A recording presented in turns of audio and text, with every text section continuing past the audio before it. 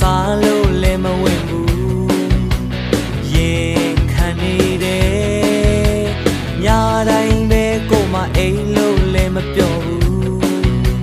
ဟာနေတယ်လို့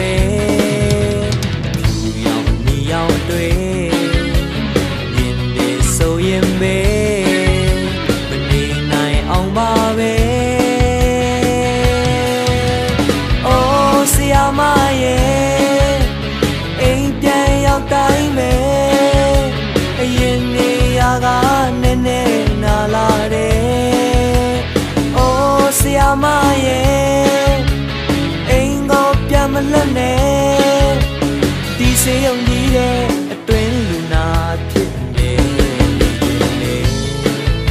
ရမလားဆရာမရဲ့ရမလား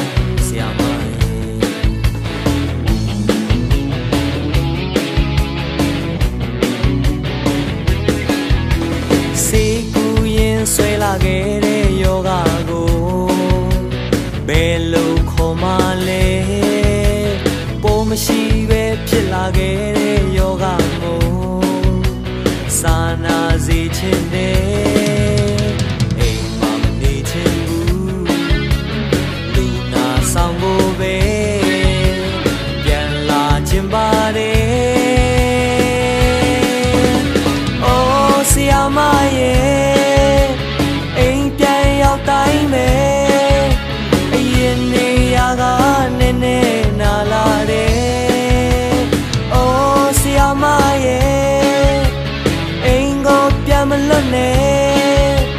ဒီစေုံကြီးတဲ့အတွင်းလူနာအဖြစ်နေနေရမလား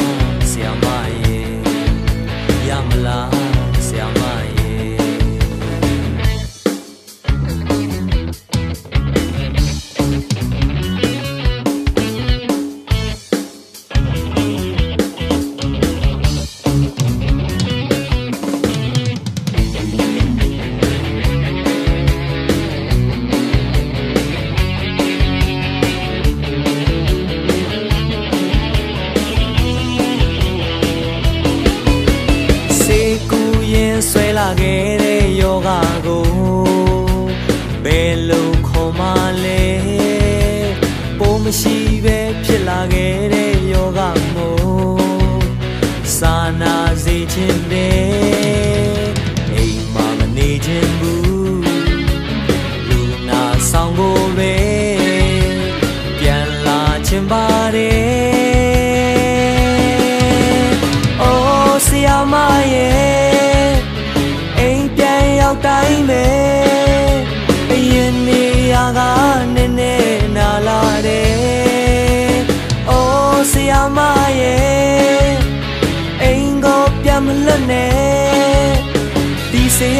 ယုံကြီးတဲ့အတွင်းလူနာဖြစ်နေနေခြင်းလေရမလားဆရာမရဲ့ရမလားဆရာမ